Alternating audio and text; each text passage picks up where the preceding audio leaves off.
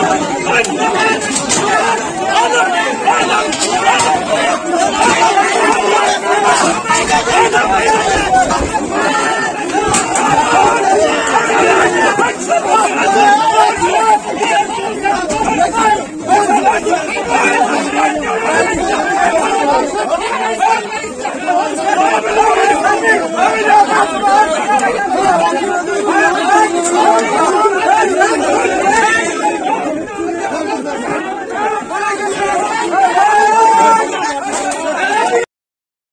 একটা খবর দিতে চাই, একটা তথ্য দিতে চাই। আজ থেকে এক মাস আগে জাতীয় নির্বাচন হয়ে গেল। জাতীয় নির্বাচনে আমি শেখ হাস, জননেত্রী শেখ হাসিনার পক্ষে, মহিব ভাইয়ের পক্ষে নৌকা মার্কার নির্বাচন করে আমরা জয়লাভ করেছি।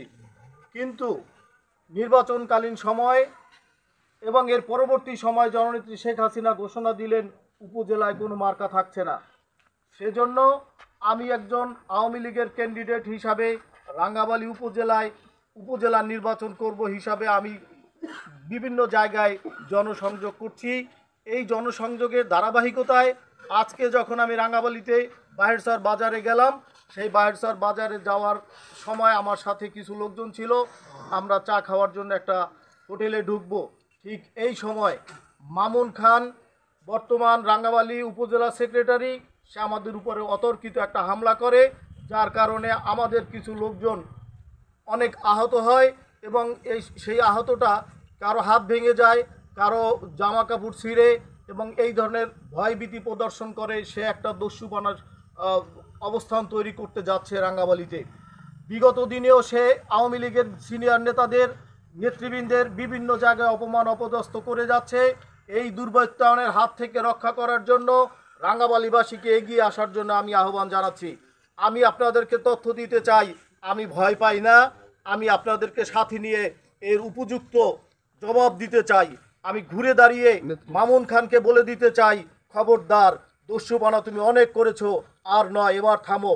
জননেত্রী শেখ হাসিনার আওয়ামী লীগের যে ভাবমূর্তি তুমি নষ্ট করে যাচ্ছ, আমাদের এই অঞ্চলের জননেতা মহিবুর রহমান মহিবের যে যে খ্যাতি, যে সুনাম তুমি নষ্ট করে যাচ্ছ দিনের পর দিন, এ ব্যাপারে তুমি সতর্ক থাকো, নইলে আগামী দিনে এই জনগণ তোমাকে উচিত শিক্ষা দিবে, দাঁত ভাঙা জবাব দিবে। আমি এই জনগণের সাথে ওয়াদা করলাম, তোমার এই এই বিচার এই জনগণের হাতে তুলে দিলাম এবং এই জনগণকে নিয়েই তোমার এই দস্যুপানা থেকে উৎখাত করবে ইনশাল্লাহ জয় বাংলা, জয় বঙ্গবন্ধু।